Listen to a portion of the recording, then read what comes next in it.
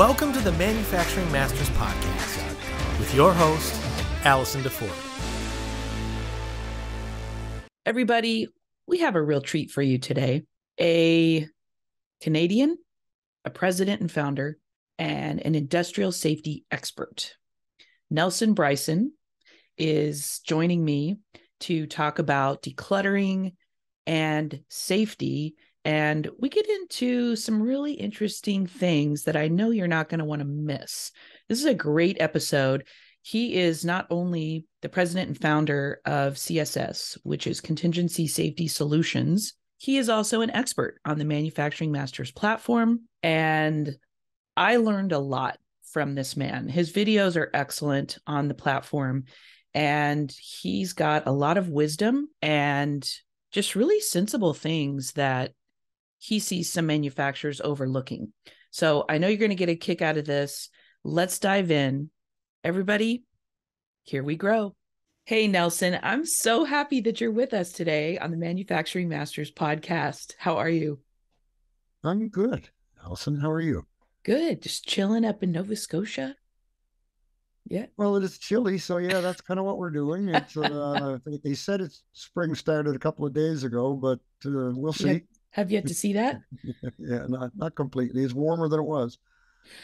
Oh well, you know, one thing that I'm not sure if everybody knows about you, besides the fact that you are an expert on this platform, um, I feel like safety is your middle name, and one of my favorite things I've learned a lot from watching your videos on the platform myself. And one of my favorite things that you talk about is returning your people home safely to their families at the end of the day. Like that that just jumped out at me. Because do you feel like we take safety for granted or feel like it's just the OSHA thing or it's uh, it's the nagging thing we've got to do. And do you think sometimes we forget that's the important part, right? Is sending all your people home at the end of the day safely. Um, all of the above in in some part, I guess. Um, to I don't know if that's the, the, the most clear answer, but it is the most important thing. Um, nobody goes to work uh, in the morning, uh, you know, it says goodbye to whoever or, you know, uh, kisses their spouse or, you know, takes their kids to school and doesn't expect to come home or doesn't expect a parent to come home or a son or a daughter to come home. And I don't think intentionally anybody, uh, you know, sets out uh, as a business to be neglectful that way, but uh, yeah, some, but there is some of that too. Unfortunately, they will put people out in dangerous situations, and uh, you know sometimes it's all about the the bottom line and getting a job done, and safety can be overlooked, and occasionally is. I think it's improving a lot. Um, in my experience, uh, I see uh, most companies uh, either are trying to practice some safety and uh, can be a little misguided or concentrating sometimes on the wrong things. Uh, sometimes people are focusing on potentially big, uh, big accidents and and and uh, forgetting the small stuff, fatalities, and yeah, they kind of overlook all the little things that prevent that on the way through, and and um, that's a little bit about culture and a little bit about uh, slowing down and taking a minute uh, up front. And once you get it done uh, in the initial, it becomes, as a lot of people refer to this in a, in in in a lot of ways, but it really becomes culture. Mm-hmm. Habit, right? Just yeah, be, habit. It's, it's part of what you do habit. every day. It really is. That, that's that's that's a uh, a great analogy and things you do every day and things you practice every day. And when a new person comes into the work site, they look at the other people and they mimic them. And yes, true. They do. And people who aren't with your company that uh, come onto your work site or into your workplace or even into your office, Um, if they see disarray, if they see things uh, out of place or see things that they can trip over or piles of junk in this corner, and it just gives people an overall impression of maybe somebody's not paying attention. And if you're not paying attention there, where else aren't you paying attention? And exactly. when the employees feel that way and see that, um, it does permeate down and it permeates upward. It, it comes from the hiring process as well. Mm-hmm. It's hiring people and putting those expectations in place. Well, one of the, I think, most important things you talk about, one of the things, because there are many, is the, the idea of decluttering. And mm-hmm. you say a clean factory equals a safe factory. And you talk about in in one of your videos that clutter is actually the a major cause of injury. So I was curious, what are some of the things that you see people you said a lot of times they might focus on the big things. What mm-hmm. are some of the little things that may get overlooked that would aid in decluttering and preventing injury?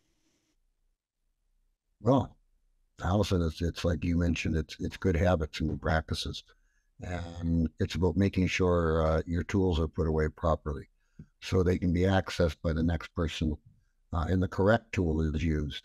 Um, you're not using the wrong tool that uh, may uh, be more dangerous, or you know, in an electrical sense, may get you electrocuted, or uh, may not tighten the bolt that you need to tighten properly. Um, making sure that there's not dangerous things laying around that can cause harm. Uh, you don't want to have uh, sharp tools laying out where people can walk by and cut themselves or uh, pointy things. Uh, cleaning up garbage and messes immediately. Making sure there's not uh, slippery spots on the floor. Um, maybe not cords where people walk uh, making sure that things, uh, electrical cords aren't laying in water or are frayed somewhere. And as I mentioned in in uh, one of my videos on this, um, that all becomes a little gray to the people who are there all the time if it's not dealt with on a regular basis, and they tend to forget it or see it or learn to deal with it. And um, I worked in, in a, an operation once where you came down the stairs, you slid across the grease, you slammed into the wall, and you made a 90 degree right turn. That's what you did every day. yeah. wow. Okay. Yeah, and, I'm picturing that. Uh, well, and everybody did it, right? So it was acceptable. You know, the manager watched it and thought it was funny every time. And oh my gosh, it never changed. But if somebody had have slipped the wrong way, there was such a big chance for for for incredible injury, right? Like, but that's the way well, it you, was, and and I see that on on job sites even today. Real, and well, and I was going to ask. I've got a couple questions. One, do you feel like, bottom line, that this could be prevented with better training in the beginning? That training is part of the culture is that a solution? Yes. Should be part of the the uh, the uh, again back right to hiring. Um, that uh, these are standards. These are practices. They're meant to be upheld. Um, it's about training and coaching, but it's also about discipline. And if it's not being yes. followed, um, if if you want to something to run poorly, then uh, you know put up with a bad employee for a while and watch how the other employees react. Mm-hmm. Um, it, it's a great way to ruin a good shop or, you know, a, a, a good work site. And and yes, it, it has to start uh, initially with training, but it has to be followed through at every level of, of the operation. And it has to be uh, a corporate uh, mindset. It has to be the boss. It has to be the uh, the administrators. It has to be the people that uh, are doing the you know the purchasing and the receiving and yeah it takes everybody and i i i found it interesting when i was watching your videos i say this about marketing which is a completely different subject but important for the business as well it starts from the inside out and the top down And I feel mm. like you say the same thing about safety, which I loved. Well, because it plays into it plays into marketing. Yeah, true. Because if you don't believe that everybody else sees that from the outside looking in, that's where the gray goes missing. Right. Outsiders don't see that gray that the other people see every day and just becomes part of the practice and the OLs. And we'll get to it next week and put that over there. And, you know, all that stuff that, uh, and, and everybody sees that stuff in work, workplaces all the time. Mm-hmm. Um, and when you know a new client walks in, or a supplier walks in, or you know one of the tradespeople walks in to do your electrical or your plumbing, um, you know somebody comes in to pick up an order, they see it quickly because that's the first thing they notice. It's out of place. It's not normal, and it gives an overall image of your business. Well, if this is if this is how the they look, is that how they care about my my project? Right. Right. Is that how they're is is if you know is that how they're measuring my precision equipment that I'm thinking about buying, and right. I want to buy a lot of them. Um, and again, when you uh, when you walk onto a site and it's not a safe site, everybody notices that. And True. if there's people acting like cowboys, it's immediately a topic of conversation when you're off site attention to detail was noticed. Yes. Well, and and on that note, another thing that you talk about that I I think is brilliant is that you say big ah. events are an accumulation of small actions. Yeah. Like I liken that to the compound effect. It's exactly what it is. Those small you're, you're right on the money. Right? Small habits every day lead to big results hopefully positive and safe versus the alternative. If you're not cleaning up, if you're not straightening up, if you're not putting things back where they belong, so the person that comes in after you knows exactly what is in front of them, where their tools are, that their tools are in good shape because the person who put them away inspected them. The person that takes them out is going to do a visual inspection of them. And that includes your harnesses, your safety gear, um, anything else that you have to put on uh, at the shop. So somebody's not going up uh, to height uh, with with frayed gear, and if they do need the gear, uh, God forbid that it fails them. Um, that's a worst case scenario. Um, you're also, as you're putting things away, especially equipment and machinery, you're inspecting it. You're noticing if there's a, a leak or if you smell something burning, a rubber belt or something. Um, you know, and you can bring that up to maintenance or operations. Uh, the next person out in the morning, uh, normally good companies have inspections uh, on equipment every day anyway, and should, and that's a big part of safety. Right. Um, fits right in with the you know the day to day decluttering, organizational, observational, and you know as you organize and clean up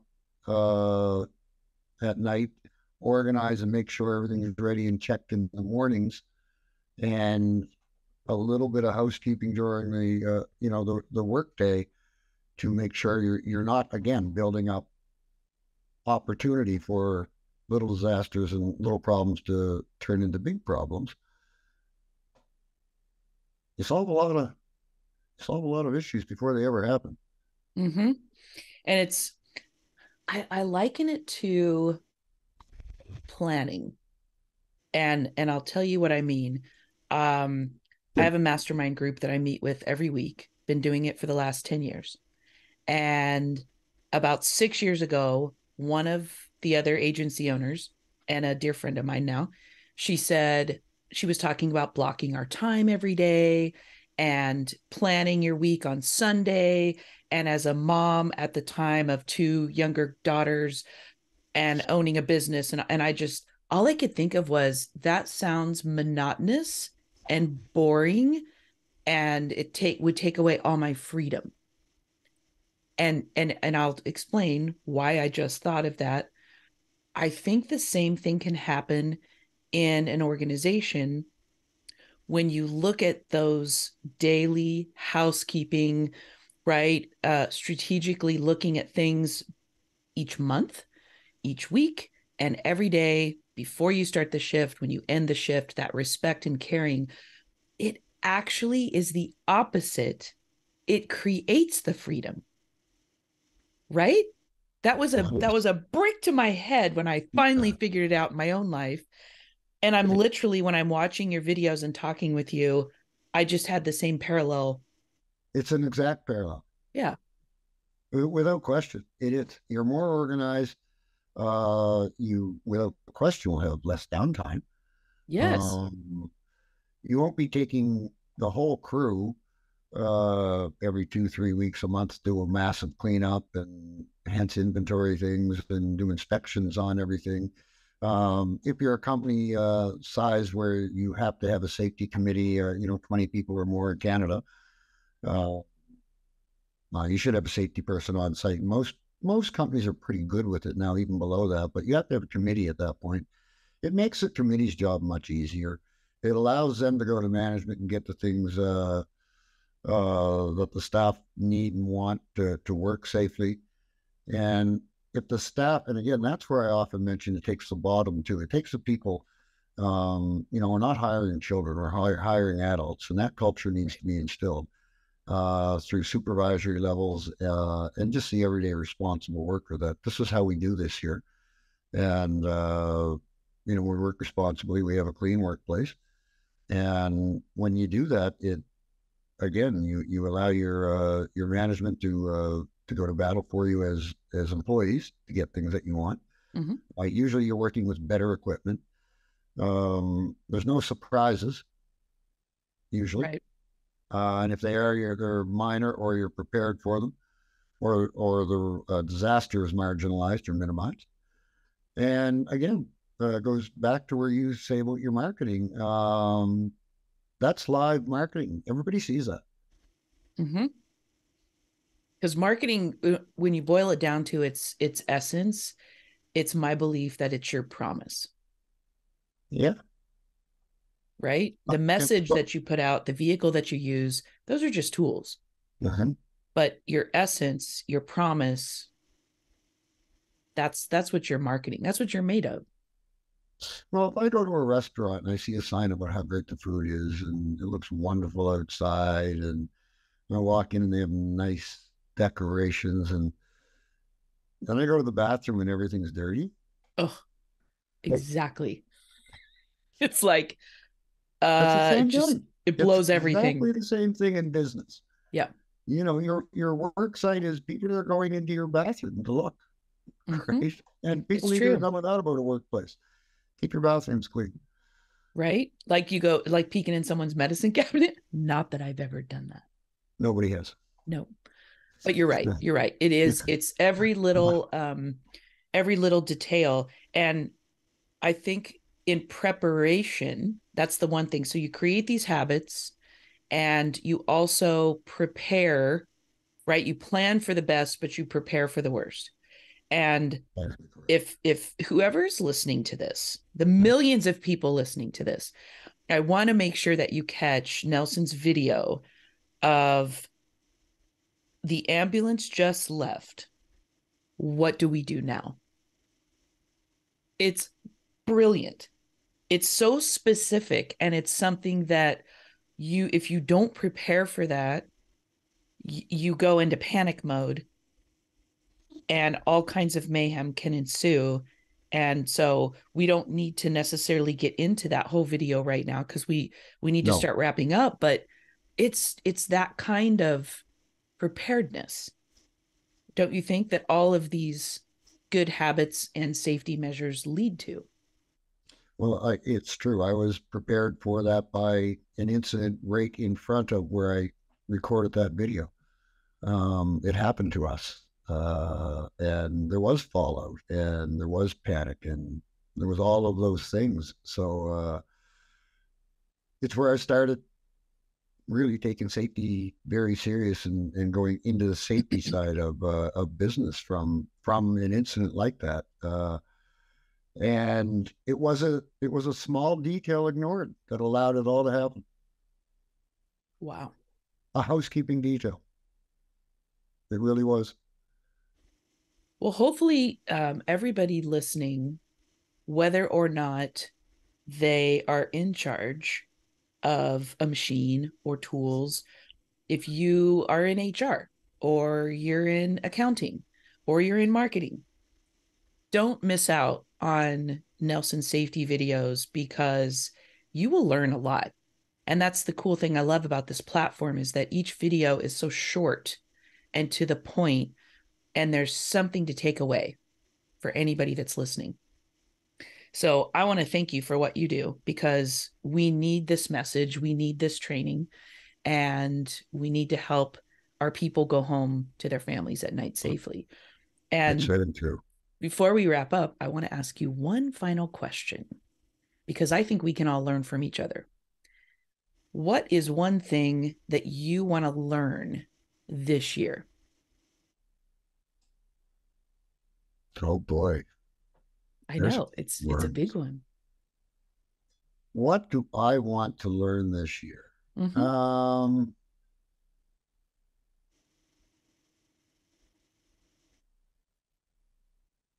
geez, I guess I'll just probably more and become a little more well-rounded in the business that I work in now and uh, the businesses that uh, that work with me. But really, you know, the mushy answer is, you know, learn more about the people that I work with. Oh, I love that. Yeah, if you, I haven't gotten that answer ever. That's Well, really kinda- great. if if you understand the people that you work with, it's easier to, you know, to have uh, influence or or to be influenced as well, right? Absolutely. Mm. I love that. As my therapist would say, let's hold on to that. I don't like that. My my therapist has been around for thirty seven years. God bless her. well, it's true. So, you listening, hold on to that, take that with you, and maybe that's something you want to learn this year too. Nelson, thank you so much for being on the podcast, and I cannot wait to continue learning from you as uh, as you create more videos and share your expertise with the manufacturing world.